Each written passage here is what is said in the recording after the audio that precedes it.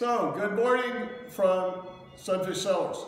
You may not recognize me because I'm brand new here. I'm the new wine director. I'm really excited to be the wine director here. My name is Hoyt Hill. I've taken over from Michael. I'm going to hope to continue the great things that he has done. And I'm um, happy, honored, to be here this morning with Anne Dashe from Dashe Cellars. And we tasted through uh, a range of her wines, all of which were lovely, Well, lovely wines. you. But the wine that I was really the most excited about was, because it's the most unusual, really, is the uh, Les Enfants Terribles, uh, which is a Zinfandel, an unusual style Zinfandel that she and her husband makes. And so, Anne, I was hoping you'd tell us about this wonderful wine. Absolutely. Good to see you guys. so um, the vineyard for this uh, wine is uh, located in Mendocino County. It's actually the highest elevation vineyard in Mendocino County. And um, everything around the Zinfandel grapes is basically Pinot Noir, so it's a bit of a cooler situation. And uh, we use a special technique to make that wine. So it's uh, more of a Beaujolais style. We call it partial carbonic maceration, which means that the, we do not, uh, we distem but do not crush the berries.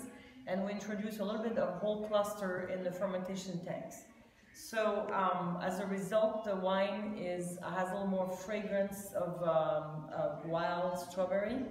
And uh, it's definitely the a Zinfandel that more has the weight of a Pinot Noir, but um, with a burst of fruit. Don't, wouldn't you say so? Vibrant, very Yes, vibrant, very very vibrant. vibrant, luscious fruit. And it aged about five months in 900 gallon cask, so very little oak uh, influence to speak of.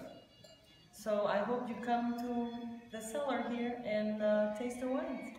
It's wonderful. If you wanted to uh, imagine some maverick winemaker in uh, Vosne Romanée made Burgundy from Zinfandel grapes, that might be kind of what this tastes like, something like that. So lovely red fruit, lovely red fruit, some spice, Asian spice, long, caressing, uh, soft palate. It's really a lovely wine. It's a fun wine. It's not a serious wine. It's a wine that tastes good with a lot of different kinds of food. Um, served a little chilled, not cold, but a little cool, like we are this morning. Anyway, it's a wonderful wine. You can buy it here for $24, and you will love this wine. I hope you'll come see us and buy a few bottles or a few cases. Here's, here's to you, Anne. Cheers. Thank you. Cheers.